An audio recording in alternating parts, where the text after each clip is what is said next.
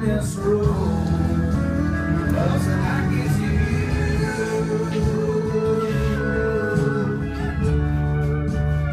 I'm just trying to see the back of the shirt.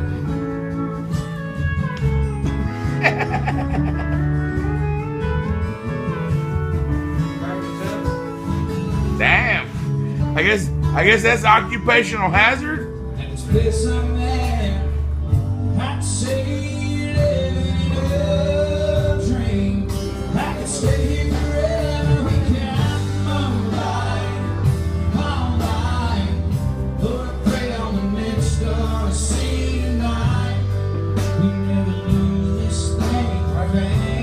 Rednecks with paychecks on the TV, got down, down straight.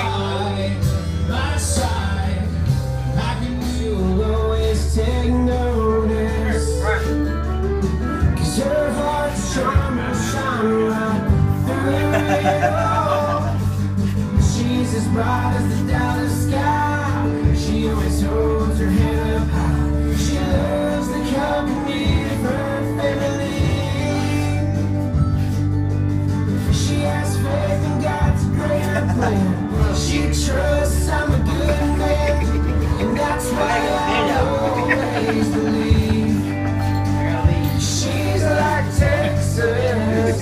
she likes me.